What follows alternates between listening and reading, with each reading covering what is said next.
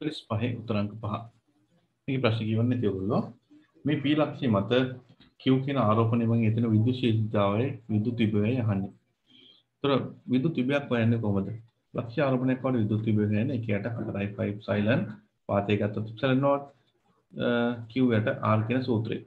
ඔක තමයි විභව වෙන සූත්‍රය. විභවය කියන්නේ අදිශයක් එක් එක් ලක්ෂ්‍ය එතන විභවයන්ගේ වීජ එකතුව තමයි සමස්ත විභවය වෙන්නේ. එතකොට P ලක්ෂ්‍ය මත ඇති කරන විභවය ඒ අවස්ථාවේදී ගත්තොත් මොකෝ වෙන්නේ? මුළු සමස්ථාරෝපණයම එකම ලක්ෂයක තියෙන්නේ දුර අපි R කියලා ඒගොල්ලෝ දීලා තියෙන්නේ. එතකොට කැපිටල් R කියලා දුරකින් තියෙන්නේ. එහෙනම් අපිට V පළවෙනි අවස්ථාවේදී ගත්තොත් 1ට 4යි 5 සයිලන් not Q යට කැපිටල් R. ඔන්න ඔක තමයි එන්නේ.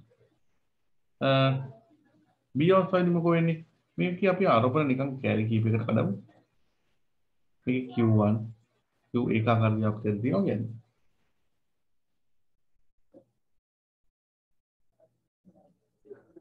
ඔව් ඒකාකාර ව්‍යාප්තියක් තියෙනවා කියන්නේ.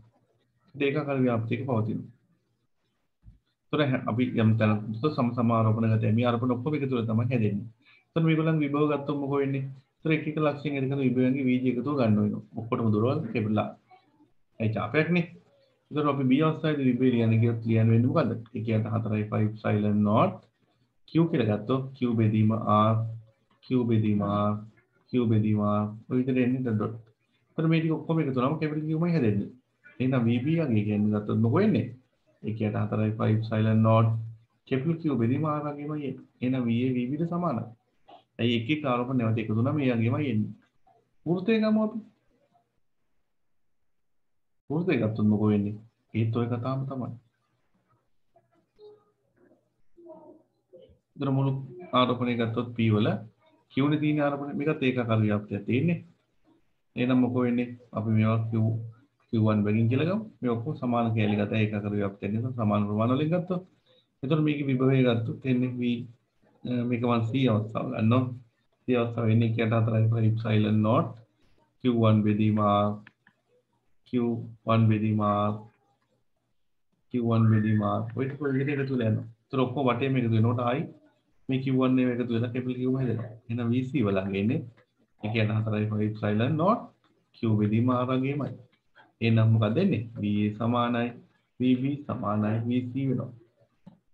එහෙනම් අවස්ථා තුනේම විභව සමාන වෙනවා P ලක්ෂ්‍ය. මොකද හේතුව හැම වෙලාවෙම ආරෝපණය තියෙන්නේ සමාන දුරකින්.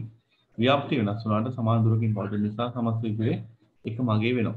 ආරෝපණ ටික එක ලක්ෂ්‍ය වෙලා තිබ්බත් විහිදලා තිබ්බත් මොකෝ වෙන්නේ එකම විභවයක් ඇති වෙන්නේ. ඒක තරකින් ගන්නත් පුළුවන්.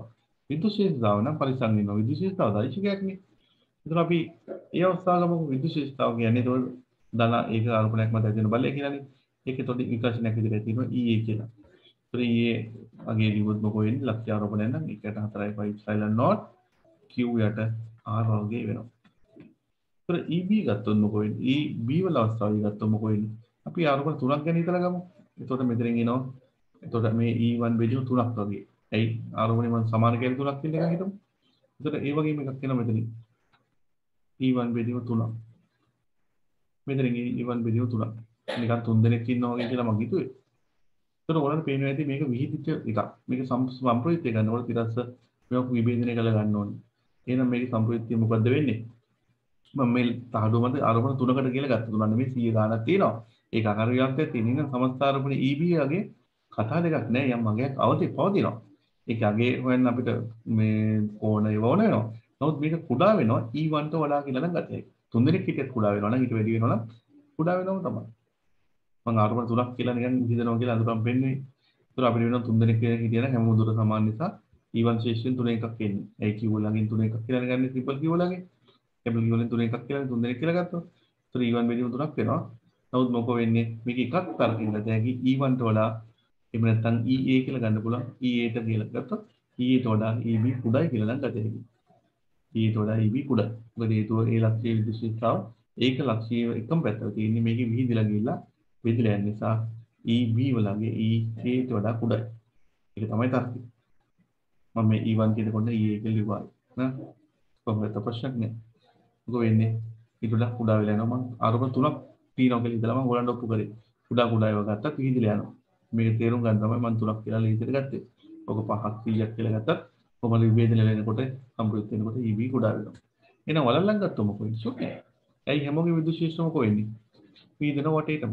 ඒකාකාරනේ ඒක සමානගෙන 100ක් තියෙනවා කියමු. 100 වටේටම වීදෙනකොට විදුලි ශේෂ්ත්‍රයේ EC වලගේ බිඳුව එහෙනම් අපේ EA විශාල වෙනවා. EB ට අඩුයි කියලා දැන් මම පෙන්නනවා.